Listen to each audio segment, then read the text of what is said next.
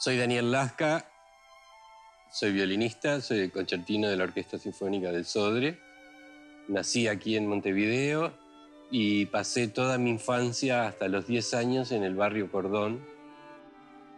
Bueno, mm, mi padre era músico, eh, violinista, y él era violinista y aparte era maestro.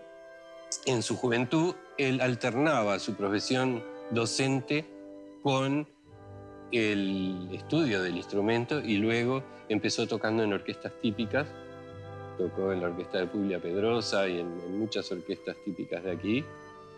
Y cuando yo era muy chico, mis primeros recuerdos era ver a mi padre estudiando en casa, preparándose para el concurso de ingreso a la Orquesta Sinfónica del Sodre.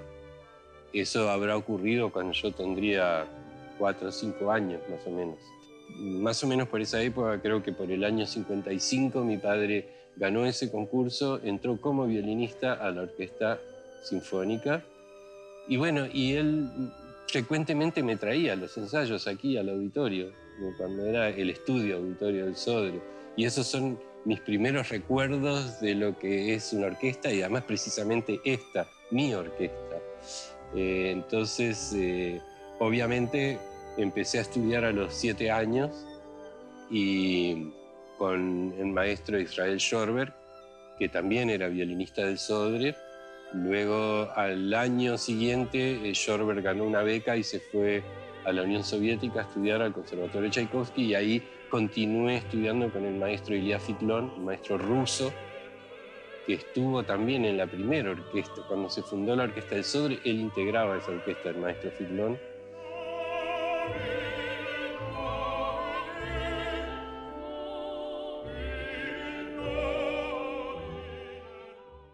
El violín, bueno, es un instrumento de cuerda, es el que en la orquesta es el que tiene la mayor cantidad de músicos. Son de 32 más o menos eh, primeros 32 eh, violines en general, entre primeros y segundos. Es el, de los instrumentos de cuerda frotado, es el instrumento más, con el registro más agudo. Sería un poco petulante decir que los primeros violines es, es la sección más importante de la orquesta, pero digo, generalmente tenemos las melodías eh, más sobresalientes. Eh, dentro de la fila de los primeros violines yo soy la guía, soy el solista. Eh, y el solista de los primeros violines en una orquesta se llama concertino. El concertino es, no solo tiene la función de, guiar a la fila de los primeros violines, sino es como la jerarquía más importante dentro de la orquesta luego del director. Eh, es, eh, es, como un contacto entre el director y la orquesta. Es un articulador, digamos.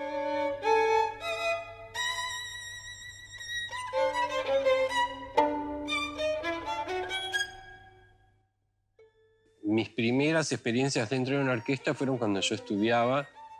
Yo eh, decía anteriormente que en el año 61 yo me fui del país ya que mi padre fue invitado a tocar en la Orquesta Sinfónica de Cuba, en La Habana, y bueno, yo era muy chico, me fui, nos fuimos todos para allá y yo ahí, continué estudiando el violín con un gran maestro que era el concertino de la Orquesta Sinfónica de La Habana, un argentino polaco, el maestro Cincia Bayur, que fue la mayor influencia que yo tuve desde el punto de vista musical. Él y mi padre fueron, digamos, los dos pilares dentro de mi formación.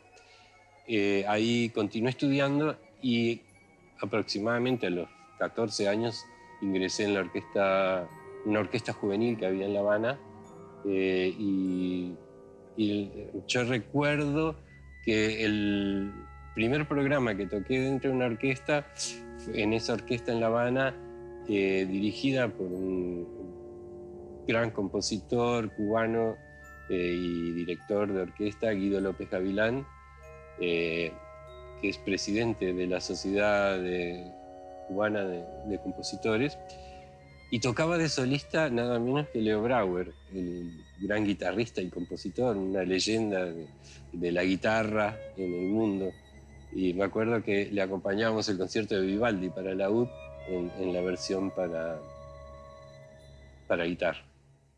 Una orquesta sinfónica para un país, para una ciudad, significa la institución musical de mayor jerarquía, de donde, que puede abarcar además varios géneros a la vez y es un vehículo de enriquecimiento cultural de la población. Escuchar una, una orquesta sinfónica en vivo es una experiencia única y bueno, y es una de las tareas nuestras tratar de acercar esa riqueza cultural a, la mayor cantidad de gente posible. Y no solo circunscripta a nuestra ciudad, a nuestra capital, sino eh, a todo el país. Eh, no olvidemos que la Orquesta Sinfónica del Sodre es la orquesta nacional del Uruguay. Voy a interpretar un fragmento de una obra del compositor uruguayo Antonio Mastro Giovanni. La obra se llama Soliloquio cuando regresé al país, cuando regresó la democracia al Uruguay en los finales del 84, este, gané concurso de la cátedra, cátedra de violín en la Escuela Universitaria de Música y cuando yo entré, cuando gané ese concurso, en ese momento el director de la escuela era el maestro Héctor Tosare Recaro. Y al poco tiempo eh, fue electo el maestro Mastro Giovanni como director de la orquesta. Y bueno, me unía mucha amistad con él.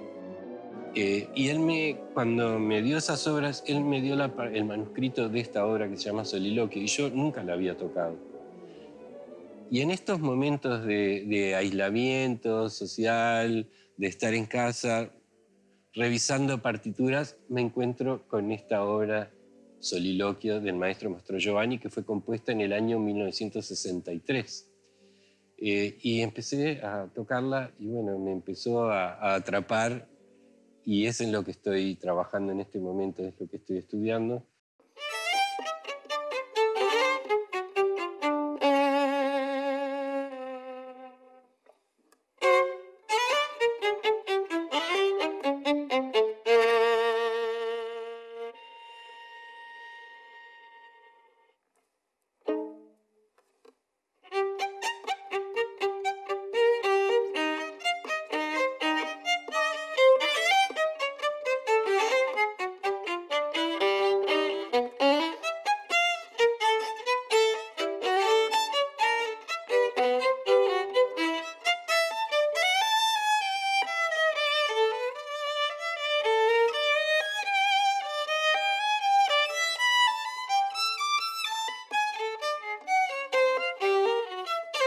thank you